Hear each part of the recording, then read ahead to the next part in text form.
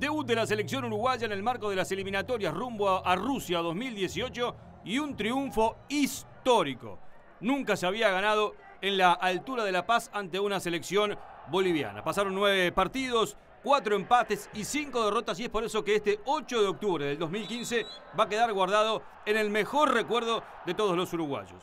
El comienzo del partido, el pitazo del argentino Patricio Lustó. Uruguay fue dirigido por Celso Otero junto con Carlos Nicola, producto de la suspensión de Tavares y de Mario Rebollo. Y ya la primera jugada de peligro. Abel Hernández, un delantero que estuvo realmente encendido en el ataque uruguayo, mandaba la pelota y generaba la primera chance de peligro para el arco boliviano. Y aquí la selección locataria encontraba este remate de Yasmani Campos, cerca de la valla defendida por Fernando Muslera. Y Uruguay empezó bien el partido. Uruguay empezó con este centro de Sánchez, la mano del arquero Vaca y en el rebote Martín Cáceres, el pelado, el hombre que jugó por el lateral derecho. Así lo puso Tavares.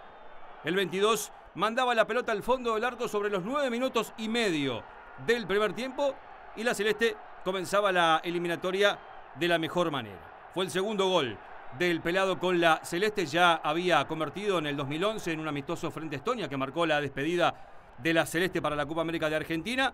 Y 1 a 0 el partido. Y aquí en este pique en el que Godín no pudo cerrar el disparo que da en el palo. El intento del número 9. Aparecía Yasmani Duc y se salvaba Uruguay. Pero Sánchez le pegó de forma notable. Y de no mediar esta gran tapada del arquero Vaca, Uruguay podía haber anotado el segundo. Otro tiro libre para la valla de Fernando Muslera. Buena tapada del arquero del Galatasaray ante el disparo de Campos. Bolivia utilizó este recurso pegándole desde afuera. Aquí está el disparo del hombre de Die Strongest de Alejandro Chumacero.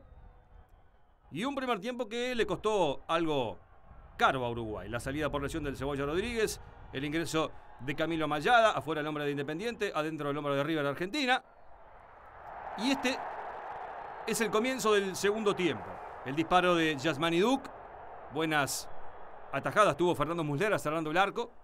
Otro de los cambios que hizo Tavares para refrescar al equipo, producto de que se estaba jugando a 3.700 metros de altura.